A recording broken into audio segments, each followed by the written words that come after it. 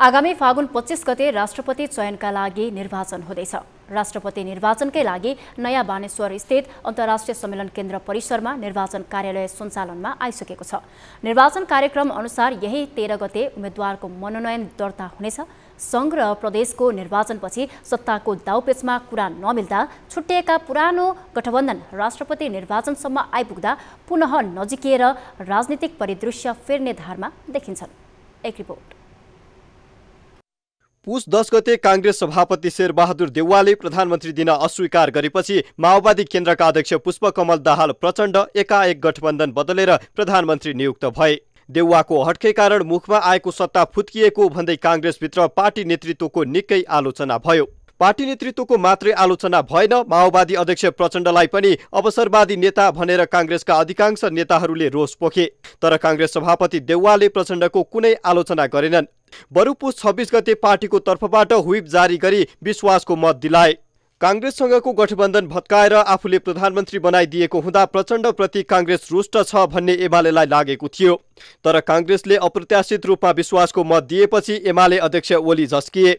र उनले काङ्ग्रेसले थापेको ढोक्सामा माछा नपर्ने भन्दै संसदकै रोस्ट्रमबाट काङ्ग्रेसप्रति आशंका व्यक्त गरेका थिए।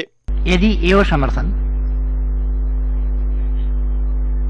कुनै जाल होइन भने यो समर्थन कुनै ढोक्सा होइन भने स्वागत योग्य छ?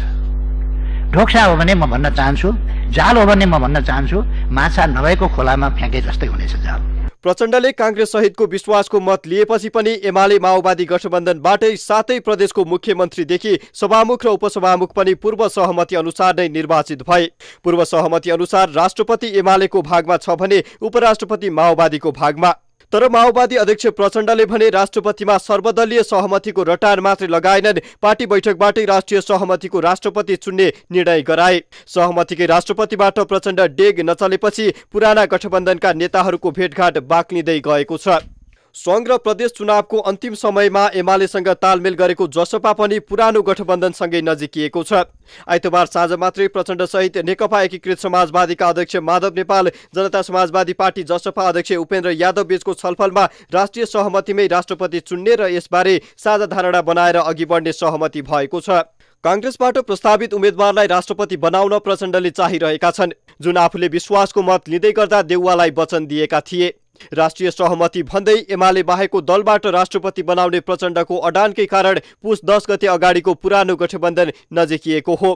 प्रचण्डको सहमति बिना जबरजस्त एमाले राष्ट्रपतिको उम्मेद्वार खडा गरेमा भने चुडिएको पुरानो गठबन्धनको गाँठो पुनः कसिनेछ। न्युज ट्वेन्टी फोर टेलिभिजनका लागि राजनीतिक ब्युरो।